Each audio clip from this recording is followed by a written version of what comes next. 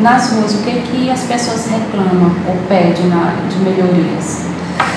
Cada pessoa, cada categoria de pessoas na sociedade reclama daquilo que lhes pertence. Por exemplo, a polícia militar quer respeito à lei da promoção, a polícia militar quer melhores condições de trabalho, a polícia militar quer um trabalho mais humanizado e eles têm tanta vontade de dar proteção de segurança pública à sociedade quanto as outras pessoas têm o desejo de ter essa segurança.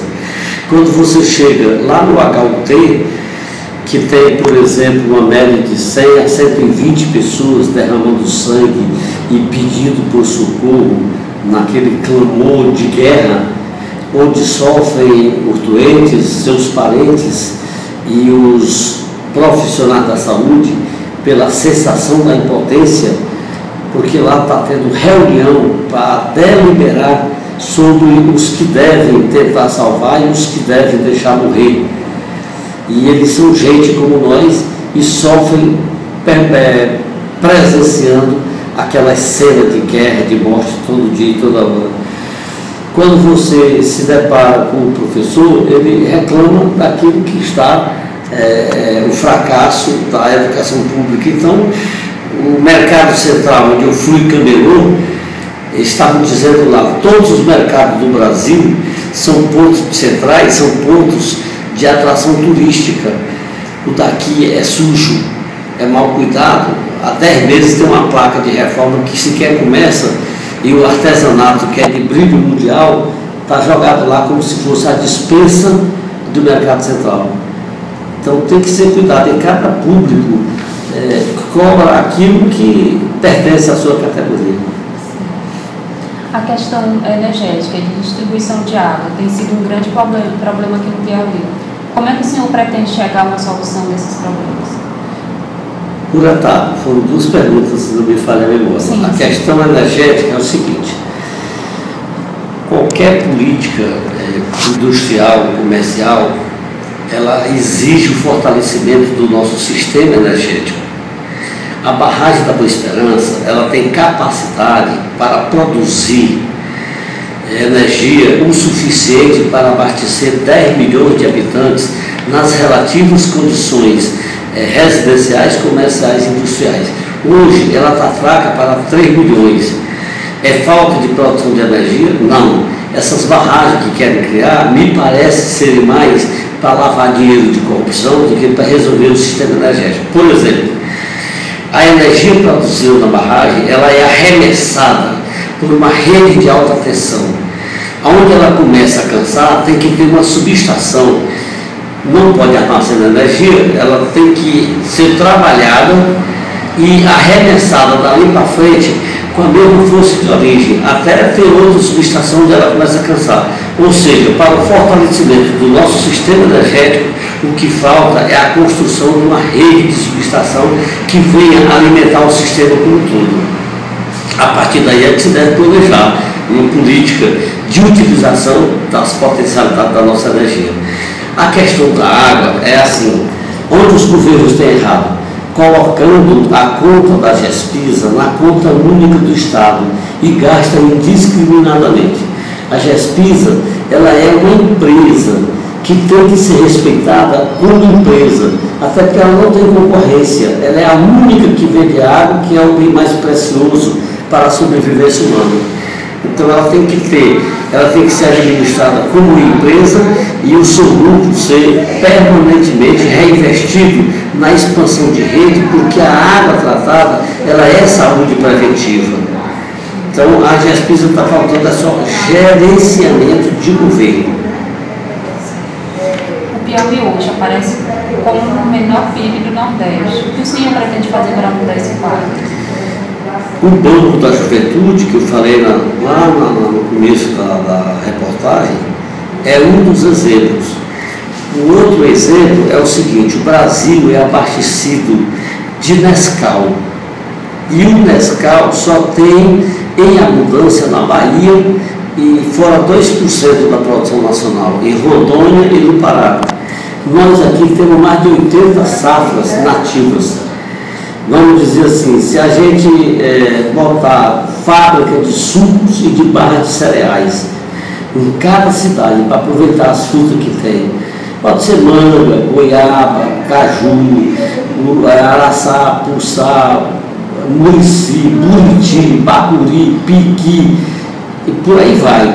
Então você pega e monta. Esse, o segundo maior, o primeiro orçamento do Piauí é o do Piauí, o segundo maior orçamento é o do Fundeb, que é a, a, o dinheiro que vem para é, a merenda escolar. Se a gente tiver a fábrica de barras cereais de suco, para fazer esse dinheiro do suco do Fundeb se somar ao orçamento do Estado, mais o Banco do Povo, ou o Banco do Estudante, são três frentes de economia que possam alavancar o, crescimento do PIB e, consequentemente, a renda per capita das pessoas do estado do Piauí. Hoje fala-se também que o Estado está quebrado financeiramente. Como é que o senhor é, solucionaria esse, problema? Veja só, Monsanto apoiou o Hélio o Hélio apoiou o Wilson. O Wilson saiu e deixou o governo com o. Há uma sequência.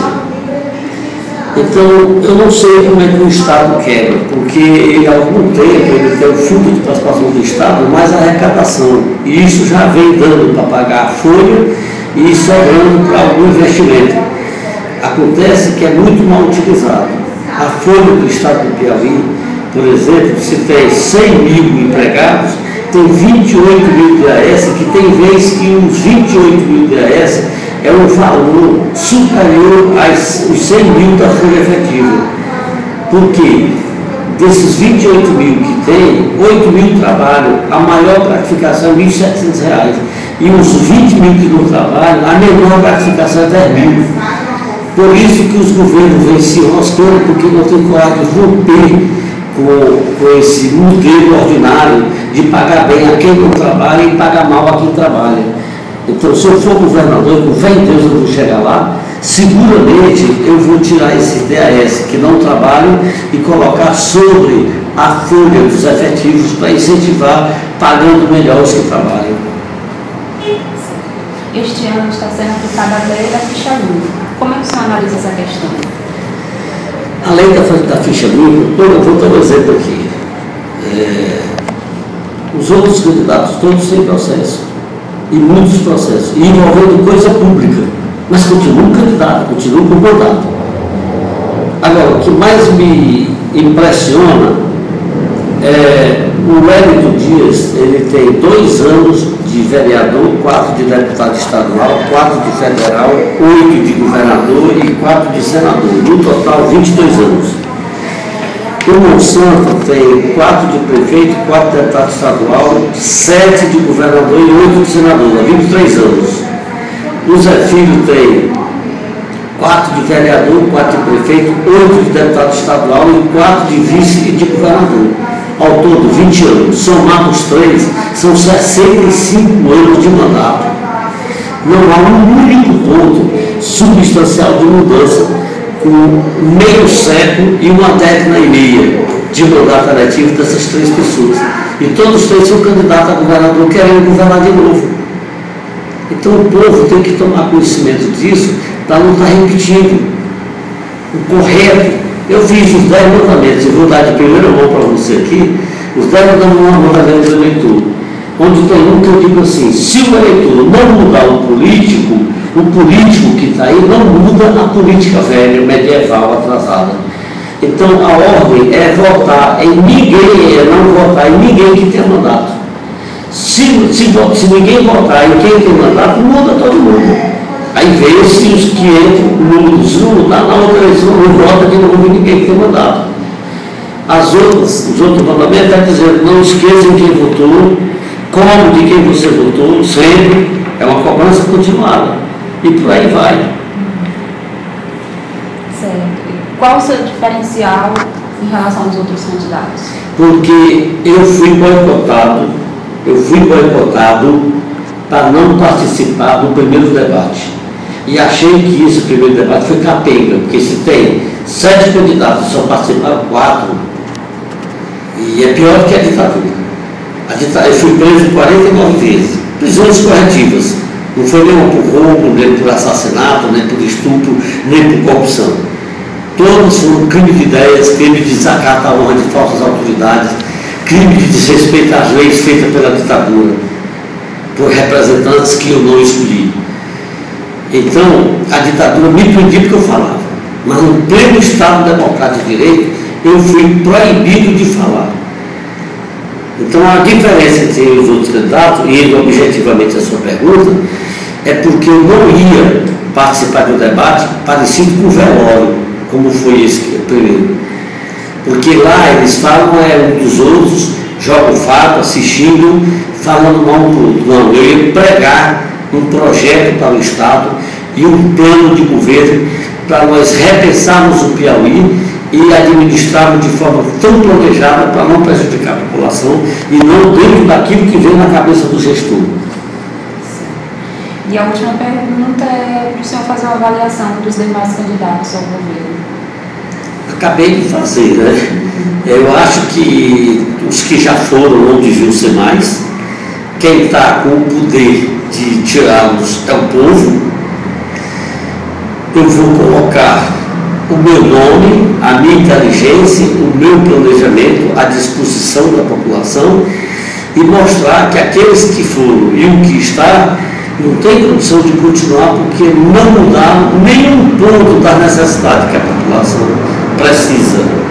E nós temos um projeto e vou provar, sendo eleito, que é possível executar um governo onde é planejado e cuida das necessidades primárias da sociedade e do cidadão como indivíduo.